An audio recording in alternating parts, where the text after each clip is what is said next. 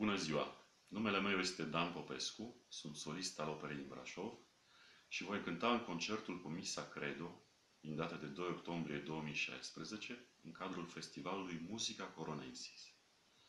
Vă invit să participați la toate concertele acestui festival, unde veți avea ocazia să ascultați muzică de calitate în interpretări excepționale.